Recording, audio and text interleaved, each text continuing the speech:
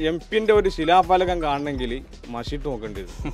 ഈ നിൽക്കുന്ന സമയത്ത് പൗരത്വമില്ലാവട്ടെ മറ്റേ ഈ എൻ ആർ സി അതുപോലെ തന്നെ മുത്തലാഖ് ബില്ല് ഇതൊക്കെ വരുന്ന സമയത്ത് ഈ ന്യൂനപക്ഷ വിഭാഗത്തിൽ നിന്ന് ഈ ഒരു എഴുപത്തഞ്ച് ശതമാനം വോട്ട് വാങ്ങി പോയിട്ടുള്ള ആളുകൾ വിമാനം നേരം വൈകി വണ്ടി കല്യാണത്തിന് പോയി. ബിരിയാണി ചെമ്പ് തലകുടി ഇങ്ങനെ മറ്റേ കോമഡി പല രീതിയിലാണ്.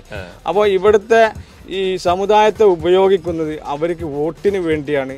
മറ്റു പ്രശ്നങ്ങൾ സമുദായത്തിന് വരുന്ന ആഭ്യന്തര പ്രശ്നങ്ങളിൽ ഇടപെടുന്നതിന് ഇടപെടുന്നതിന് അവർക്ക് പരിമിതികളുണ്ട്. അപ്പോൾ നമ്മളിവിടെ പരിമിതികളില്ലാത്ത ഇടതുപക്ഷത്തിന്റെ എം പിമാരെ അതായത് വീണ്ടും ഒരു തുടർ നരേന്ദ്രമോദി അധികാരത്തിൽ വന്നു കഴിഞ്ഞാൽ ഇവിടുത്തെ ദളിത് ന്യൂനപക്ഷ വിഭാഗങ്ങളുടെ ഒരു ജീവിതം വളരെ ദുസ്സഹമായിരിക്കും.